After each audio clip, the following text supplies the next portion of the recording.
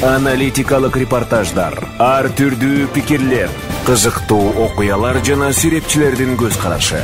Объективдүү жана так маалымат. Көңүл борборунда программасында. Тынчтыкты жана согушту чагылдыруу институтунун тарабынан даярдалган айдаблу пиар радио берүүсүн тартуулайбыз саламатсызбы? Ободо мен мээрим асаналы жумушсуздардын саны жылдан жылга өсүүдө. Эмгек жана социалдык өнүгүү министрлигине ылайык жумушсуздуктун деңгээли кыргызстанда соңку бир жылда тогуз пайызга төмөндөдү эки миң он алтынчы жылы январь айына өлкөдө эмгекке жарамдуу калктын эки жүз бир миңи ишсиз чыгып жана алардын бараңдуу бөлүгүн жаштар түзгөн. Жыйырма төрт жаштагы тимур бишкектеги окуу жайлардын бирин бүтүргөнүнө жакында бир жыл толот. Бирок ал адигече жумуш таппай кыйналып келет. Бул жерде тыңгылыктуу иш таба албагандан кийин ал сыртка чыгып ылайыктуу иш издеп көргөн. Бирок ал жактан дагы жолу болбой жакында эле кыргызстанга кайтып келди белгилей кетүүчү жагдай тимурдун туризм жаатында жогорку билими бар. Бирок анын бул тууралуу диплому азырынча бир да жерге суроо талапка ээ болбой жатат. Бүгүнкү күндө кыйын деп ойлойм.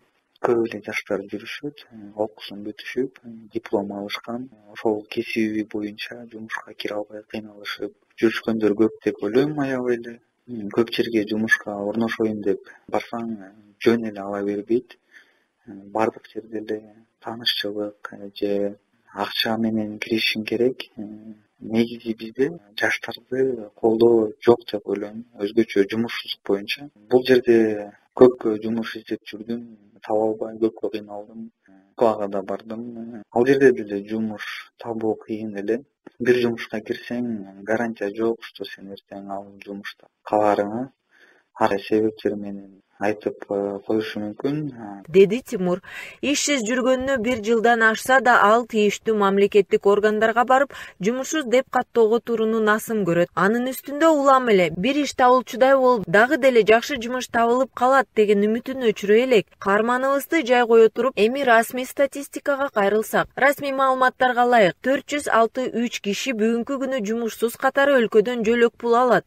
Бирок алардын канчасы жаштар өзүнчө анализ жүргүз эмес. Анан калса ишсиз жаштар жумушу жок экендигин каттатып анан ал үчүн жөлөк пул алганды уят намыс көрүшөт.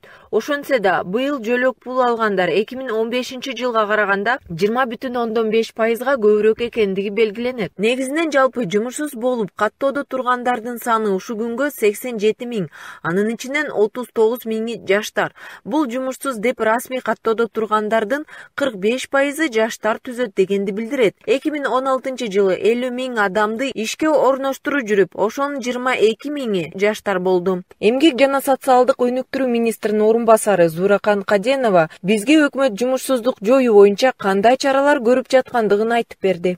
Биз ошол жумушсуздукту кыскартуу боюнча министрлик тарабынан активдүү иш чаралар жүргүзүлөт. Бул активный мера деп э, атайын коомдук акы төлөнүүчү жумуштар уюштурулат андан сырткары аларды кесипке кайрадан окутуу жүргүзүлөт.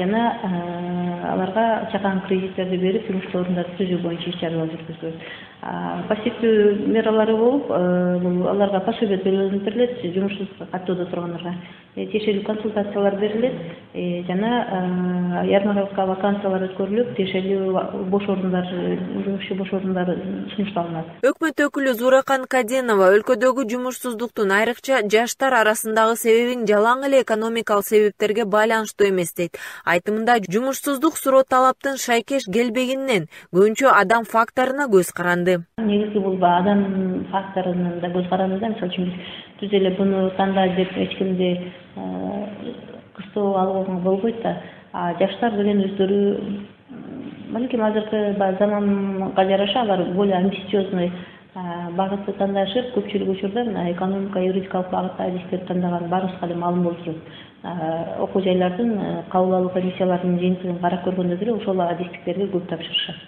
негизинен эмгек рыногу андай адистердин эмес башка дагы адистерге муктаж ошондо алып караганда бизде негизинен врачтар мугалимдер геологдор куруучулар слесарь монтажерлор андан кийин тигүүчүлөр технолог тигүүчүлөр и кызмат көрсөтүү багытында адистер көп талап кылынат деди каденова.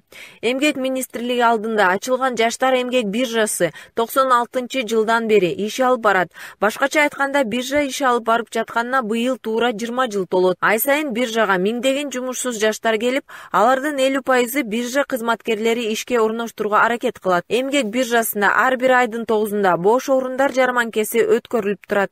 Иш чарада жумуш берүүчүлөр менен ишсиздерди бетме бет кездештирүүлөр демейде жакшы жыйынтыктарды берет жаштар биржасынын кызматкери роза жапаркулова да жумушсуздук маселесинде жаштарга моодалуу кесиптер эмес кийин иш таап кете ала тургандай керектүү кесип тандоого чакырды. Это нужно решать комплексно жумушсуздук маселесин комплекстүү чечүү керек. Бизде жаштар ишке орношо турган завод фабрикалар аз. Ошол эле убакта квалификациясы жогору кадрлар дагы аз бул маселе эми билим министрлигин дагы чапчый кете турган көйгөй. Жогорку окуу жайлар ишке даяр жана жумушка алып кала турган адистерди даярдап беришпейт. Ошондуктан жаштар жумуш издеп өлкөдөн чыгып кетүүгө мажбур болуп жатышат.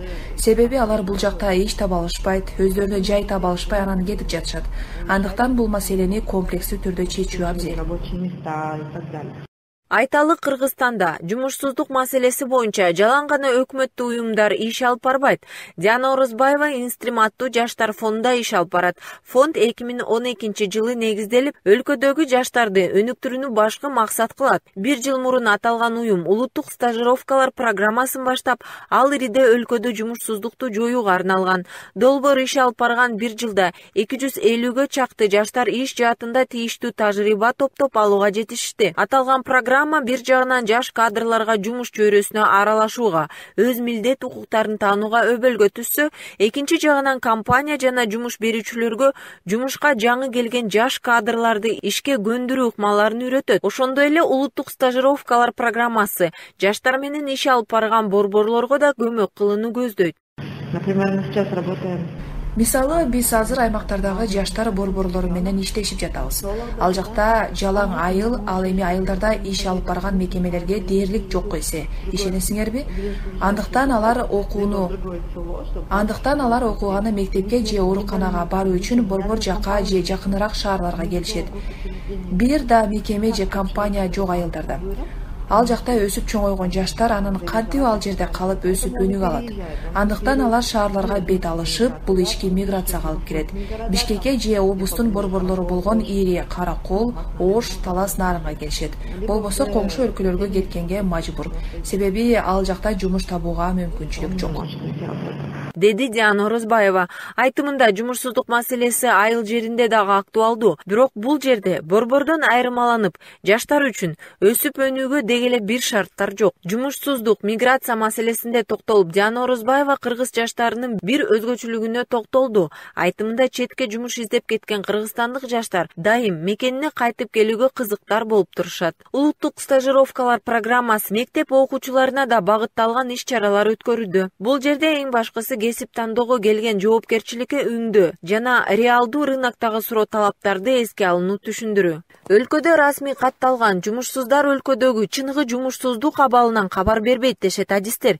Себеби жумушсуз катары эч жерде каттоого турбагандар көп. Алардын кээ бирөө мунун намысы көрүшсө кээ бирөө кайда катталыш керек экендигинин да кабары жок. Андан калса бүгүнкү күнү расмий беш жүз миң чакты кыргызстандык алды орусия казакстан арты европа мамлекеттеринде эмгек мигранттары катары жүрүшөт. Бейрасмий алардын саны бир жарым миллионго жетери айтылат. Айта кетүүчү нерсе бүгүнкү күнү жумушсуздук жалаң гана кыргызстанда эмес.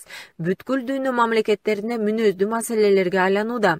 эки миң он алты эки миң он жетинчи жылдары дүйнөдө жумушсуздардын саны эки жүз миллион кишиге жетери айтылууда. Бул тууралуу эл аралык эмгек уюмунун январда жарык көргөн докладдарында прогноз берилет. Жумушсуздуктун күч алышынын негизги себеби катары өнүгүп келе жаткан өлкөлөрдүн экономикаларындагы өсүштүн жайлуу темпи көрсөтүлөт. Эмгек боюнча эл аралык уюм жумушсуздук маселеси бүгүнкү күндөгү глобалдык чакырык жана коркунучтарга алып келерин белгилеп татыктуу жумушка орноштуруу жүрбөгөн өлкөлөрдө социалдык чыңалуу өсөрү турган иш экенин эскертет.